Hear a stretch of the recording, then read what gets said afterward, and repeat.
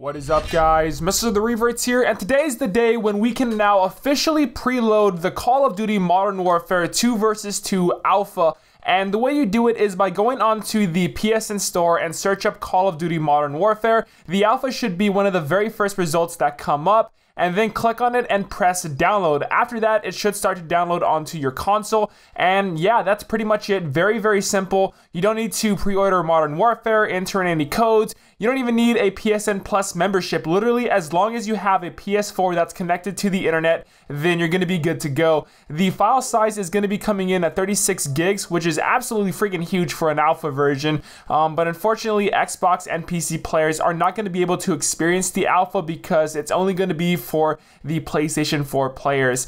I kind of wish they would have had like at least a day or maybe two for the Xbox and PC guys, but um, for the remainder of the alpha version, it's only going to be on the PlayStation 4. If you're watching this video and you are away from your console, then I'm going to have a link to the PSN Store website that will allow you to download the game. Just make sure you sign in, of course, and it should allow you to preload again, even though you may not be next to your PlayStation 4. And if you guys don't know, the alpha is going to kick off tomorrow on August the 23rd at 10 a.m. Pacific time, and then it's going to end on August the 25th. I truly do hope that they extend the playtime because two days really isn't all that long. And I know for me, I'm going to be having kind of a busy weekend, so I won't be able to put as much time into the game as I want to. So hopefully they will extend it for at least a day. And now the maps we're going to be able to play on are King, Pine, and Docks. And then the other two maps, Speedball and Stack, are going to be available to play later throughout the week weekend. I hope I was able to help you guys out with how to preload the Modern Warfare 2v2 Alpha. Again, it should be available to download throughout all regions right now by the time this video is up.